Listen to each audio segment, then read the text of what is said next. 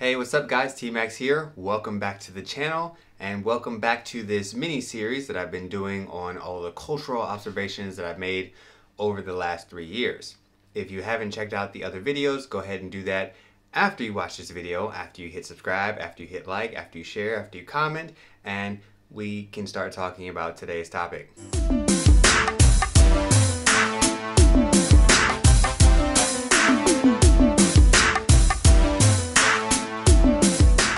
So let's talk about women and relationships. So there's this thing called sha bai tan, which is usually used as negative, but there's also ke and both of these just refer to adult women behaving like children, like cute, like girly or whatever. And ke is also very popular in Japan.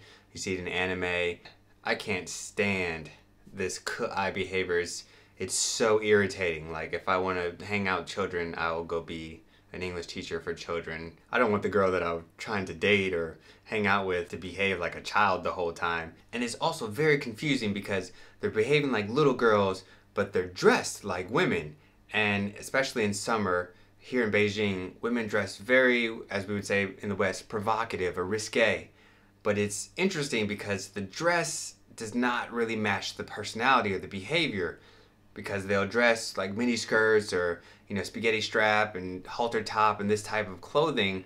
But in general chinese women in my experience are very conservative. They're not so flirtatious or seductive or provocative. They just dress that way. They're also very quick to comment on your appearance. And not just chinese women everybody in general will immediately compliment you saying that you're beautiful or handsome, this is the first compliment. It's never like, oh, you look smart or cool clothes. But if a girl dressed very provocatively and acting like a little kid is like, oh, you're so handsome, it's like, what? What is happening here? It's, I know you're probably thinking, well, you know, maybe there's more to it. And maybe this is just their way of flirting, but it's so basic. And if you like try to flirt beyond that, you don't really get much in response. There's no reciprocity.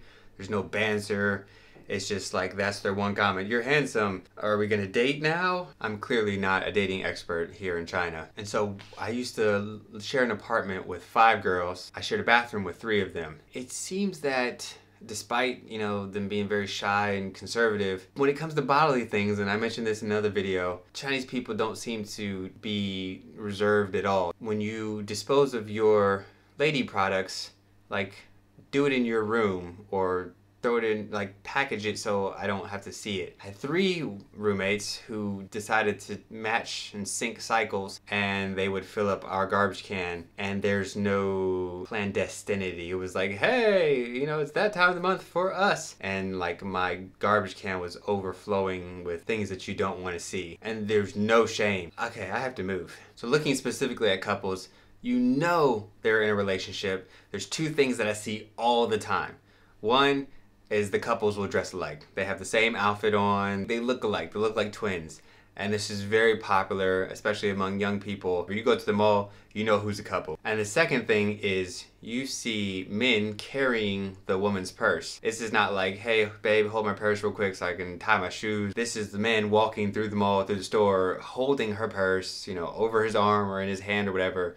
And he's holding it the whole time. Like, she'll even like, hand me something. He's opening the purse, like giving her stuff. So it's his purse now, but it's not his purse because this is clearly a woman's purse. And you won't see a whole bunch of public displays of affection.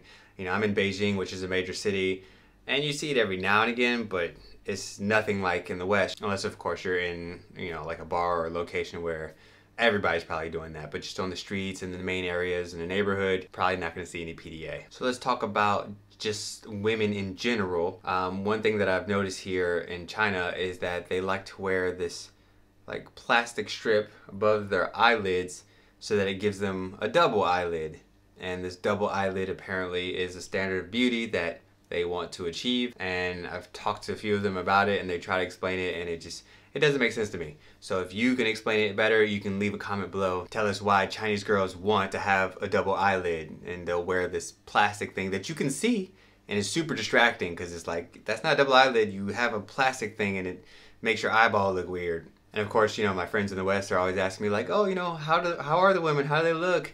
And, uh, and the women are beautiful here. There's beautiful women, in my opinion, everywhere in the world. Different people have different genetics and different types of bodies and faces and stuff like that. Here, I always make two jokes. There's not much junk in the trunk, meaning the girls here do not have big butts, uh, even if they're uh, overweight. Another thing I say is uh, the girls here are like a bucket of dark meat chicken.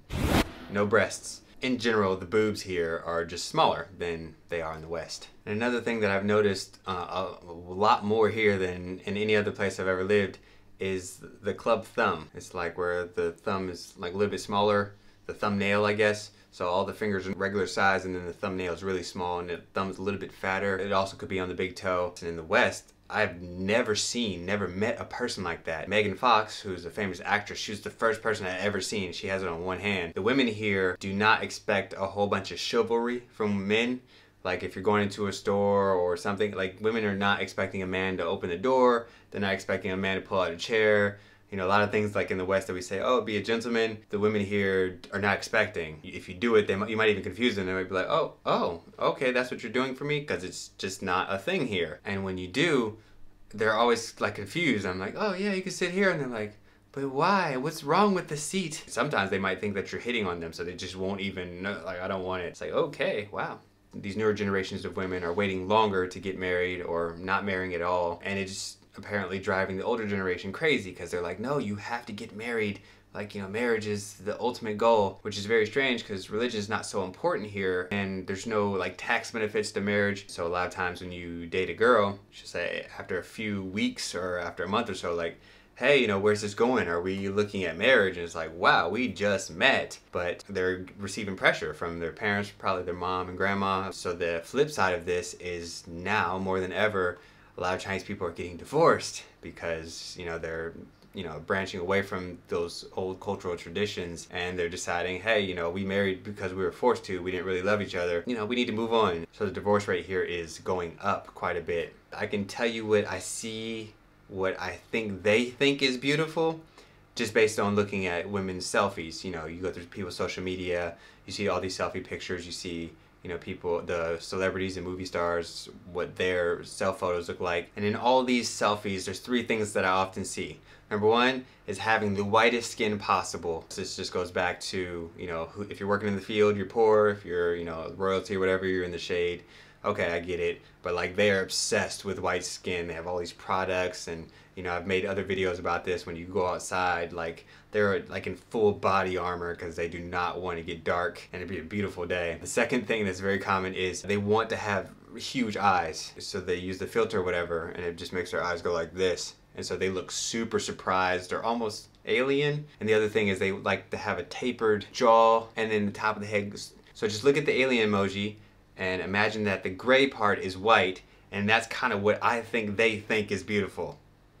Okay, so for all you expats here in China, what do you see about relationships, women, or even men? What do you see? Go ahead and leave a comment below, let us know.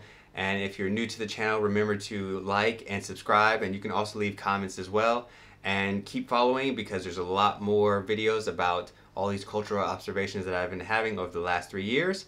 I'll see you in the next video.